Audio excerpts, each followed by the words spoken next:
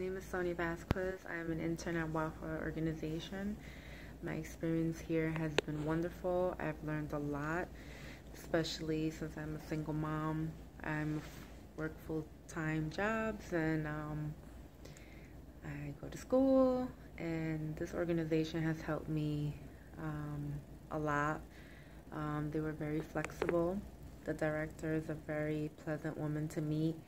She helps many people in this organization.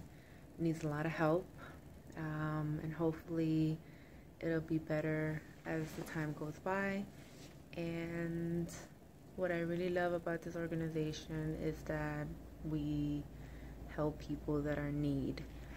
Um, if they need any counseling, any assistance, um, that's what we're there for.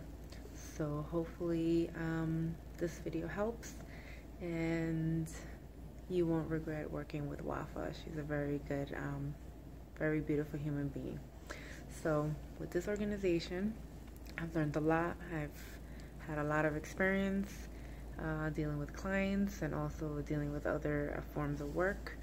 And hopefully this will help me with um, other future opportunities. Take care. Bye.